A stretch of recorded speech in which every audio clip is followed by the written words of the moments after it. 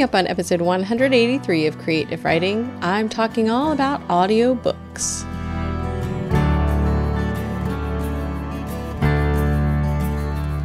I can't go back to sleep, it's almost light.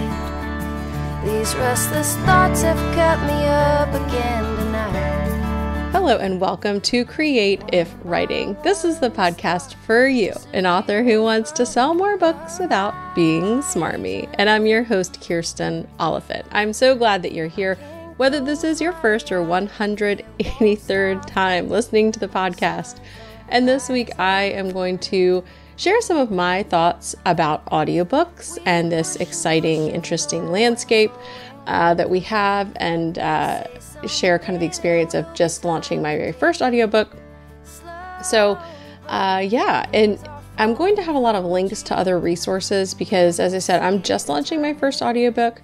Um, there are a lot of people who've been doing this a lot longer than I am. So I'm kind of sharing from the perspective of if you are like me, where you're on the fence about getting into audio, I want to share some pros and cons and tips and things you need to know about the landscape. But also, I'm going to be linking to a lot of people who have really informative posts, especially about what's going on right now. Um, you know, in 2020 with audiobooks and that current landscape, because some things have changed a lot. So you can find the show notes if you go to createifwriting.com slash 182. 3 for episode 183. And as always, if you want these kinds of links delivered straight to your inbox, you can go to createifwriting.com slash quickfix to subscribe to my weekly newsletter that comes out on Fridays with resources, links, and tips. And also it's short, hence quick fix. Okay, so let's uh let's talk audiobooks. Um this is something, you know, I've been podcasting now for I think 5 years and uh, you know, I got into podcasting because I'd been blogging. Well, there's a whole long story about it, but I'd been blogging and the blogging landscape was really crowded and I was really looking for something different. And, you know, audio has been talked about as the future and the now and and you know, it's so much less crowded and it is really crowded now both if we're talking about audiobooks and podcasts, but in terms of numbers, you know, there is a big shift happening where a lot more people are consuming things uh, via audio. And I think the, you know, whole COVID 19 thing has had an impact because I know some people are saying they're listening more, but a lot of people are listening less because they don't have their commute to work. Um, and, you know, hopefully we'll be getting back to some semblance of safety and normalcy sometime and that will pick back up. But I do know um, I've heard, you know, anecdotally, this is not research and numbers, but anecdotally, I've heard that people are not listening as much to audiobooks because that, again, that time where they used to listen is gone. Um, I've been listening a little more because I uh, have been taking long walks. And so I've been listening to some audiobooks because it's either that or I'm reading while I'm walking, which means I'm not looking where I'm going, uh, which I still do. And so far, so good. But uh, one of the two for me. But in any case, audio is on the rise and people always talk about it being on the cutting edge, but there's a lot of drawbacks to this and it's really a lot harder for an indie author to do audiobooks than it is to do ebooks. So I want to talk about that so that you can kind of go in with a little bit more knowledge. And again, we're not getting into the, any of the tech stuff and I will have links to lots of people who um, know more and have been in this landscape for longer than I have. But I want to start with talking about the differences between producing an audiobook and an ebook. Um, not the technical differences, but the differences that are going to probably impact you as an indie author. Um, the first is that the cost of producing one is higher. The cost of producing an audiobook is much higher than producing an ebook, and yet your royalties are lower. Um, and in fact, as we'll get into when we talk about ACX, they might be much lower um, there's a much higher level of tech needed. So if you're stressed out by the idea of um, putting together an ebook and formatting and all that, which I know can be very stressful, uh, audiobooks are just like a whole nother playing field. So there's that. Um, you also can't set the price. And so, you know, where uh, for me, the thing that really was different um, about looking at audiobooks, and one reason I hesitated so long, because I could have been putting them out a couple years ago, the reason I hesitated was uh, as an indie where I'm used to having so much control. You know, there's tons of cover artists from, you know, $50 to five thousand dollars or whatever you want to pay. Um, but you can control that choice. There are formatters, there are free formatters, there are paid formatters, there are all these different options that you have for formatting. When we're talking about ebooks. There's different price levels when it comes to um, editing and proofing and the kinds of editing and proofing that you need. You have all this control. You can set your price. You can do all of these different things. And so um, there's sort of like the spirit of the indie author that's used to having all the control and making all the choices. And audiobooks really take a lot of that away from you because there there's not going to be as much of a range um, of options for pricing. There just isn't. And uh, you again can't ch- necessarily choose your price depending on where you're putting your audiobook. And your royalty rate's much lower so it feels like you're paying more you're doing more work and you're not having the control and you're getting less out of it. And so um, that you know on the outset you know we've got this whole thing where audio is the future and then at the same time but also it's going to be a lot harder and more expensive and you don't have as much control um, and so again, this is why I've kind of hesitated. So there are some different options when it comes to audiobooks. Um, I'm not trying to dissuade you from doing it. I'm just letting you know, like, this is just the reality if you're going into this because people talk. I hear all this talk all the time. Audiobooks are the future, but then when you get into it, it's really overwhelming and and it can be very frustrating. I find it very frustrating. Um, so I want to talk a bit about um, some of the things that have been going on in 2020 with um, ACX and talk a little bit about distribution. So with audiobooks, um, Audible is the big name that we know, and it you know is Amazon's baby, um, where you pay per month and you get like one credit. And so you know the deal is with ACX is that it's it's the one that most people use. It's the most popular it's the one most people have heard of, but there's some other ones that are on the rise that do a lot of distribution. I love that Draft2Digital has partnered with Findaway Voices, and they do a lot of distribution for other places. And um, I think it's from BookBub, but there's a new um, kind of discount audiobook place called Chirp, where um, if you have your book on audiobook on sale, you can submit it to Chirp and get some more downloads. But that means you have to control the price. So the thing is this ACX is um, a distributor that works with Audible, and it's the one we hear about, but they have two options when you're putting an audiobook together. Okay, so if you actually want to um, make more money with ACX, you can go exclusive with them and get 40% royalties of whatever price they set. But that's a seven year contract. Now, after a year, if you're unhappy or whatever, you can choose to take your book out and request that. And for the most part, they've been granting that. But as we'll go deeper into this, uh, I don't know that I would trust them. So that's a seven year contract. And if you're doing, um, well, I'll get back to royalty share in a second. But if you're doing something like royalty share to pay for it, where you and the narrator share the royalty to help offset the costs, you have to do exclusive. If you're doing exclusive, um, that means you can't use Findaway Voices or any of the other distribution. You can't sell it direct on your site or any of the other options that you have. It has to just be through ACX. Now you can be um, go through ACX and have your book on Audible and not be exclusive, and then you're going to be getting a 25% royalty. Um, just for the moment, they've also given an extra 5% um, royalty because of COVID, which is nice, but they've done some other things that are less nice. Um, to do that. So you have that choice whether you go direct and upload, um, you know, right through ACX in their dashboard and just be on Audible, or if you're going to be non exclusive with them. And then you can be there however long you want. You can have your book on Findaway, you can set your price, and there's some different options that you have. And I'll link to, um, I think there's some posts that talk about different ways that you can do that. I really hate the idea of being exclusive because seven years, so much has changed. You know, think about tech and how much it's changed. Right now, Audible's the monster, you know, and ACX really has kind of a stranglehold, but in seven years, so much tech could change. A lot of things could change. I don't like being beholden to them. Now, when I launched my audiobook, and we'll get into now some of the changes for ACX, I had planned to go exclusive because one of the things that ACX has done in the past is they've provided 100 free codes where you can give them out and people can download your book from Audible with this free code. And what happens is you actually get paid as though they bought it. So you're going to get that this is only ex- if you're exclusive with you would get that 40% royalty rate. So a lot of people were help off- offsetting the cost of this of putting together an audiobook and that was sort of my plan. There are a lot of different groups where you can do this, and it benefits, you know, it seems like, wow, this is a trick, but this is something ACX set up, and it benefits them because what it does is it gets a lot more people hooked on their platform, right? So, in a way, you're promoting them as much as you're promoting yourself.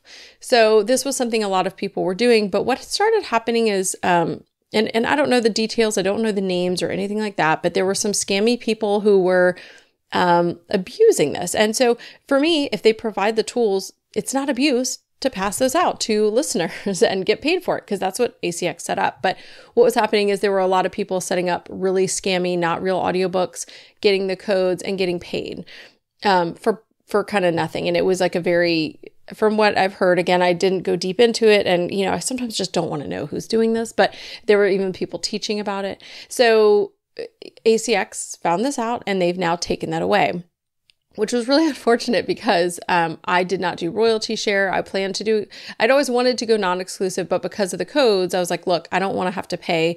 Um, it ended up being $1,300 to produce my audiobook.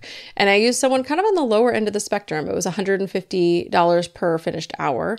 Um, and then I paid another hundred for someone to go listen to the files because I don't have time for that. And I also find myself self editing all the time because after it's done, you need to make sure it matches up with the um, actual ebook so that it'll Whispersync. So those two things will be linked um, on Amazon. Anyway, so it ended up being $1,300. And uh, I had planned to help offset the cost through those codes. And of course, as my book is in production, ACX announced, and this is the big thing, that they're not doing that anymore because of the scammers, that it was too much abuse of the system. And so now, if you're exclusive with them, I think they give you 25 codes, but you don't get paid for them anymore. So you only get 25 free codes. So if you're trying to get reviews for your audiobook, because that was really the goal, right, is to get reviews, um, the bon- bonuses you're getting the money, and ACX and Audible are benefiting because people are signing up for Audible and staying on that platform. Um, but now you're not getting paid for those codes. So now that was taken away. So big hit to my wallet and my whole plan of offsetting costs. And so that really has changed things a lot. And I'm going to link to a video from a friend of mine, Lorana Hoopes, and she is both an author and a narrator. And so she talks about how this is going to really impact the people trying to do royalty share because the narrators also got codes. And so they could help even though they weren't getting paid as much up front. Because when you choose to have a book narrated, you can pay per finished hour, which means you're just paying out of pocket like I did, or you can do a royalty share. And the royalty share is only if you're exclusive with ACX. And it means that you are paying them less because they're going to share the royalties with you for the sales. So they're more motivated to make sales. Now, the reality is this you know, narrators are not building platforms the same way authors are. And so they may not have a great sort of you know, launch plan of how they're distributing these codes. Some narrators I see doing this, but not a lot, but they still got codes. And so it was beneficial to them to share those codes as well because they're getting royalty shares from the free code payment. But now that's gone. So it's going to be a lot harder for authors to find royalty share narrators. Um, and it's also, you know, a lot more people I think are going to be going wide. And so I actually, in the middle of my um, setting things up. The only reason, again, I went exclusive was for that 40% and the codes that I was going to use to offset my costs. When that went away, I emailed ACX and said, Hey, I don't want to be exclusive anymore. My book's in production. And so it was a huge kerfluffle, but I'm finally not exclusive. Uh, my book just went live on Audible, but I have to get it up on the other sites. Um, and I'm planning to do that through Findaway. So I already have the files. I paid the narrator. She was wonderful. Um, and now I have that. But you know, this has really changed the landscape, and I think it's going to have a lasting impact. Now, for me, it stinks because again, I had my whole plan in place to help offset this cost, and it's not that I can't afford it, but but it is just a big chunk of change. And from most of the authors I know, they're not getting the money back for the audiobooks they produce for a couple years sometimes. So it's not um, you know, unless they were really getting rid of all those codes, and I know a few people who were able to to find places to get rid of those codes, and were really their books were paying almost for themselves. But um, for the most part, this is kind of a long game, and when it's that much money up front, a long game is hard for a lot of indie authors who are bootstrapping.